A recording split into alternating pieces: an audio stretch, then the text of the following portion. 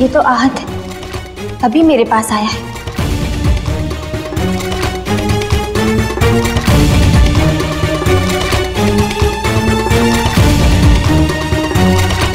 मेरे पास आओ। रुको रुको, इधर आओ मेरे पास। रुको।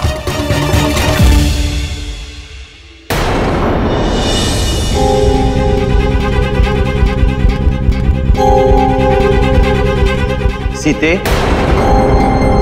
किसे पुकार रही है? मैंने स्वर्ण में देखा। वो आहत था। घाव के कारण उसे असहनीय पीड़ा हो रही थी।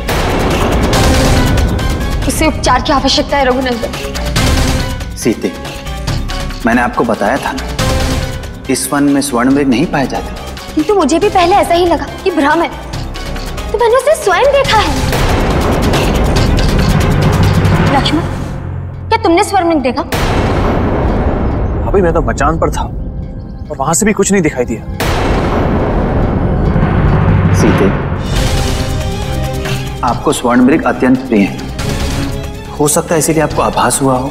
मैं कैसे समझाऊं? कैसे विश्वास दिलाऊं आपको? वो आहत है। उसकी पीड़ा ने मुझे व्याकुल कर दिया।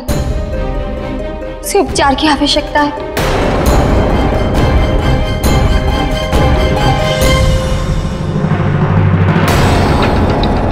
मेरी योजना तो सफल हो रही है। अब किसी भी तरह इन दो भाइयों को आश्रम से दूर ले जाना है।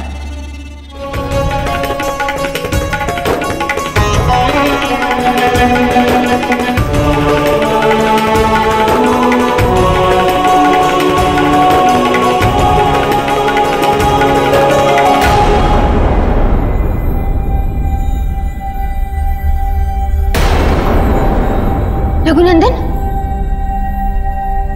देखिए।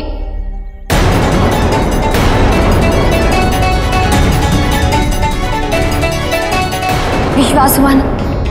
देखिए, आप दोनों के इस विलंब ने उसकी पीड़ा बढ़ा दी।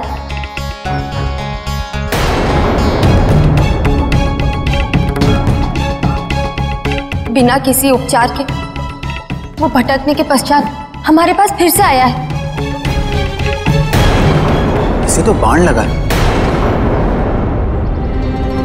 संभव है इसीलिए भयभीत होकर ये किसी समीप के वन से यहाँ चला आया हो। भैया। मुझे भी यही प्रतीत हो रहा है। मुझे इसका उपचार करना है। आप कुछ कीजिए। किसी भी प्रकार उसे पकड़िए। नहीं तो वो जीवित नहीं रह सकेगा। आप निश्चिंत रहिए। हम इसे कुछ नहीं होने देंगे। हमारी भावनाओं से बढ़कर होता है। हमारा धर्म। और आज आज हमारा धर्म यह कहता है कि मुझे उस आहत को पकड़कर उसका उपचार करना चाहिए। आप चिंतित ना हो। मैं शीघ्र लौटूँगा। लक्ष्मण है आपके साथ।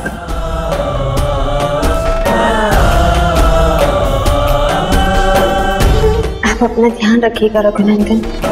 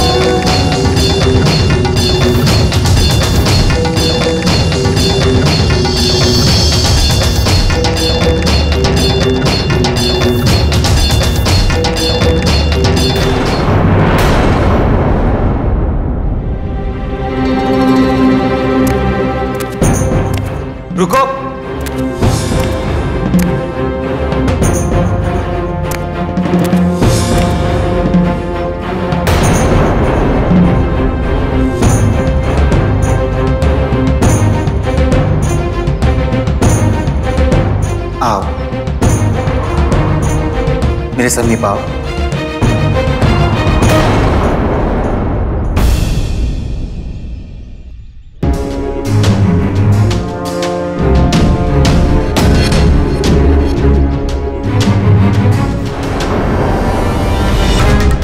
रुको।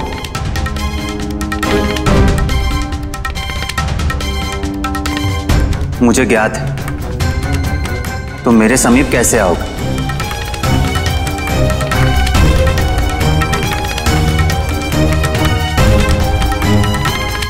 ये देखो। मैं खिलाऊँगा तुम्हें। आओ। ले लो इसे। आ जाओ। जितना संभव हो सके उतना राम को आश्रम से दूर ले जाना होगा। आओ।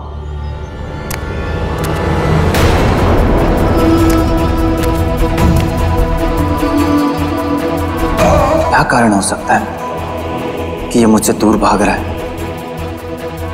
संभव है कि भयभीत हो। यदि ये भयभीत होकर मुझसे दूर भाग रहा है तो इसे अपने समीप लाने के लिए मुझे इससे दूर जाना होगा।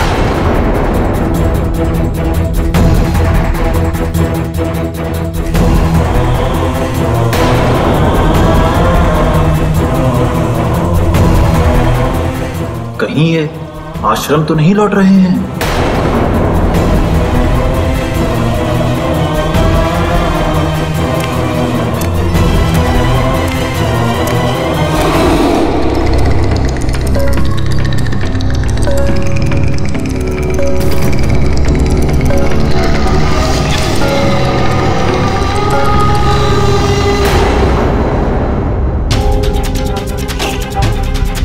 अभी राम अपने आश्रम से बहुत दूर नहीं आए हैं।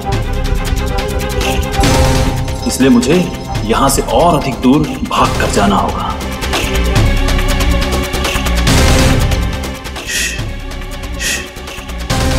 शांत।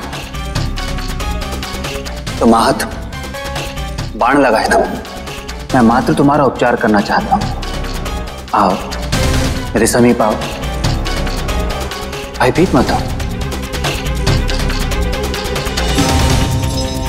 पीड़ा हो रही है। ना मैं तुम्हें तुम्हारी पीड़ा से मुक्ति दिलाने ही आया आ जाओ।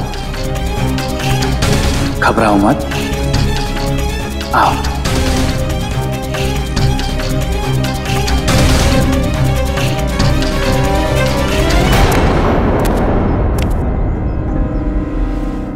ये तो मेरी बात ही नहीं समझ पा रहा है।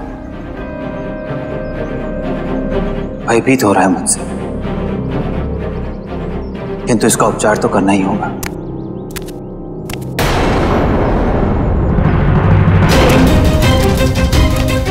ये इतना आहत होने पर भी इतनी गति से कैसे भाग रहा है?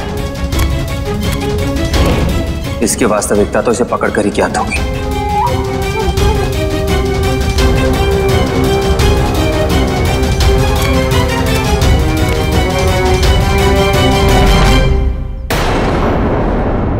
क्या बात है भाभी? आप यहाँ पर? लक्ष्मण तुम्हारे भैया अभी तक लौटे नहीं। अब निश्चिंत रहे भाभी। वो स्वर्ण मृग बड़ा ही चतुर और वेगवान है। वन में वायु की गति से विचरण करता है। एक क्षण वो मेरे सामने था और दूसरे क्षण वो अदृश्य हो गया। एक क्षण यहाँ तो दूसरे क्षण कहीं और।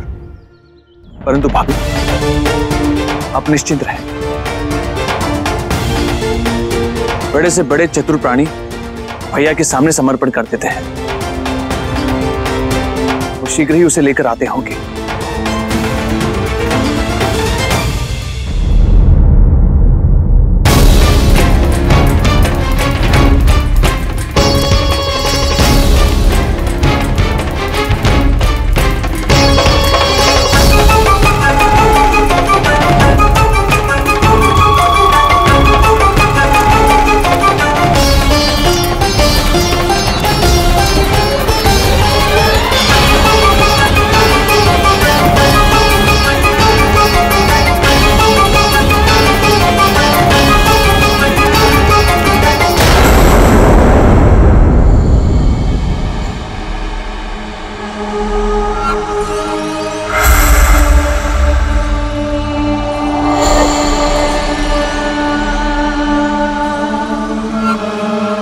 यदि राम ने मुझे पकड़ लिया तो मेरी योजना असफल हो जाएगी।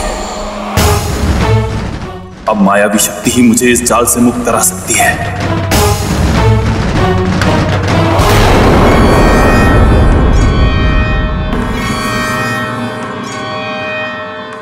यह अवश्य कोई मायावी असुर, जो स्वर्ण मृग का रूप धारण कर हमें छलने आया है। और ऐसा करने के पीछे, अवश्य इसका कोई ना कोई गुप्त उद्देश्य होना चाहिए।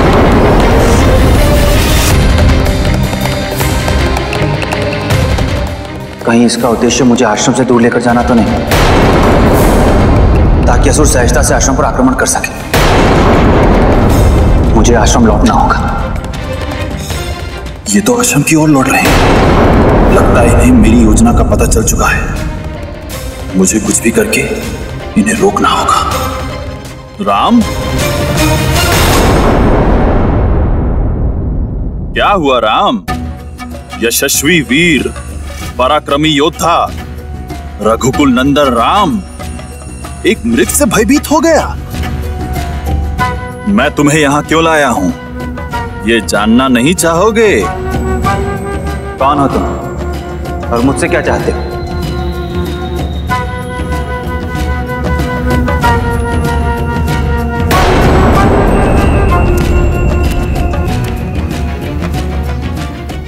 उधर आश्रम में सीते की रक्षा के लिए लक्ष्मण पूर्णतः सक्षम है। किंतु इस मायावी का रहस्य जानना अत्यंत आवश्यक है। यह संपूर्ण पंचवटी के लिए घातक हो सकता है। रुको।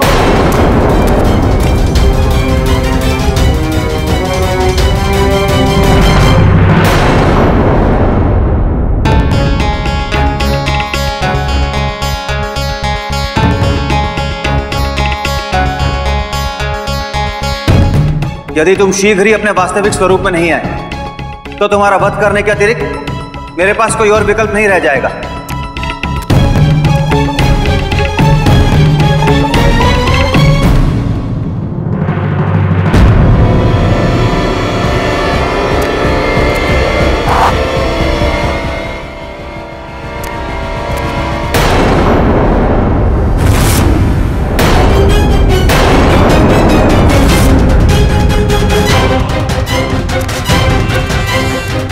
कोई साधारण माया भी नहीं। ये तो माया विद्या में पूर्णतः पारंगत और निपुण है। इसे इतनी सहजता से नहीं मारा जा सकता।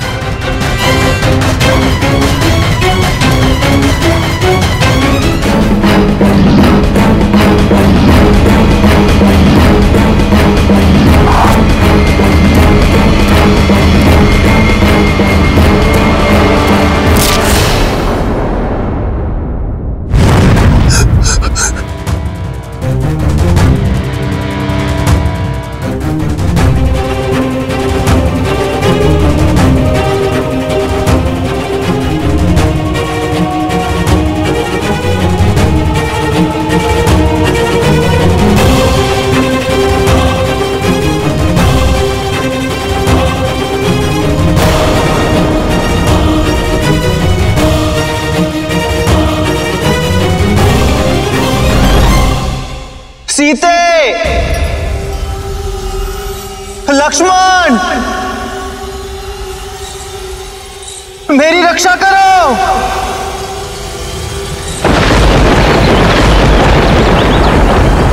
सीते लक्ष्मण मेरी रक्षा करो।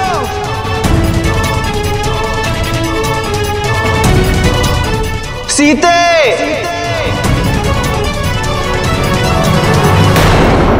हे सीते। लक्ष्मण। रघुनंदन संकट में मुझे और लक्ष्मण को पुकार रहे लक्ष्मण! लक्ष्मण!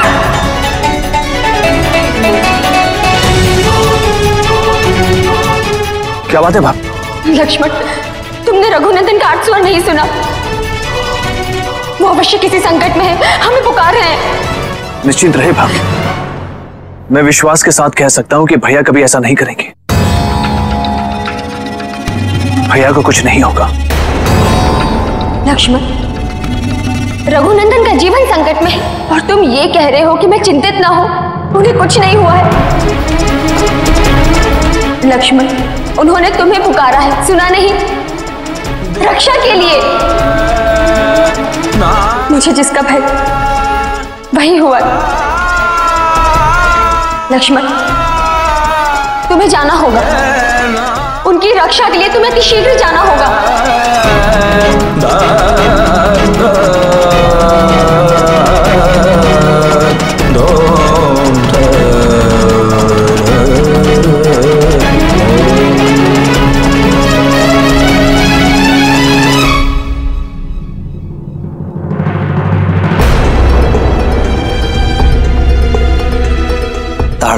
मारीच तुम?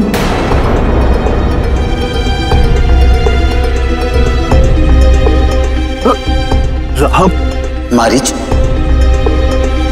तुमने हमारे साथ ये छल क्यों किया? बोलो। और क्यों तुम मेरे स्वर लक्ष्मण और सीता को पुकार रहे थे? मुझे क्षमा कर दीजिए रघुनंदन मैं यह धर्म नहीं करना चाहता था। किंतु किंतु मुझे मुझे लंकापति रावण ने विवश कर दिया था। रावण? तुमने ये सब उसके कहने पर किया? जब से आपने मुझे समुद्र तट पर फेंका तभी से मैंने अपने प्राणों की रक्षा करने के लिए एक सन्यासी के भांति सात्विक जीवन व्यतीत करने लगा। किंतु किंतु रावण ने मुझे ये छल करने के लिए विवश किया। यदि यदि मैं उसकी बात नहीं मानता तो वो मेरी हत्या कर देता। मैं उस अधर्मी पापी के हाथों नहीं मरना चाहता था। इसलिए मैंने मैंने आपके हाथों मरना स्वीकार किया। मुझे क्षम- कर, दीजिए। मारीच किंतु रावण की योजना क्या है? क्या चाहता है? सी-